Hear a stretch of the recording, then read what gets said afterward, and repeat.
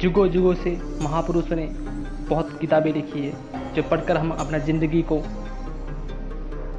अंधकार से प्रकाश की ओर आगे बढ़ा सकते हैं। जैसे आचार्य चाणक्य जी ने कहा, किसी बीमारी को हो जाने पर, दुख आने पर, अकल पड़ने पर, शत्रु की तरफ़ से मुसीबत आने पर, राज्यसभा में शमशान अथवा किसी के मृत्यु के समय किसी कोई व्यक्ति उसका साथ ना छोड़े तो वास्तव में वही बंधु कहलाता है। जो व्यक्ति निश्चित अर्थ जो हो सकता है, उसे छोड़कर अनिश्चित जो नहीं हो सकता, उसके पीछे भागता है और समय बर्बाद करता है। वो सफल नहीं हो सकता।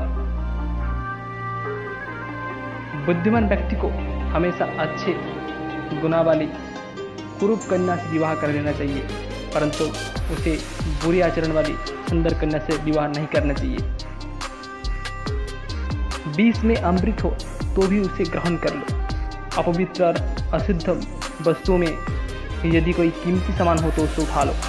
यदि नीच मनुष्य के पास कोई अच्छी विद्या, कला सीख सकते हो तो सीख लो।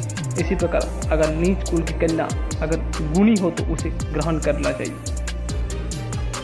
वह व्यक्ति ने धरती पर ही स्वर्ग को पा लिया है, जिसका पुत्र आज्ञाकारी है, जिसका पत्नी उसका इच्छा अनुसार व्यवहार करती है।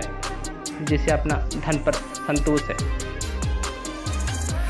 पुत्र वही है जो पिता का कहना मानता है। पिता वही है जो पुत्र का पालन पोषण करे। मित्र वही है जिस पर आप विश्वास कर सकते हैं।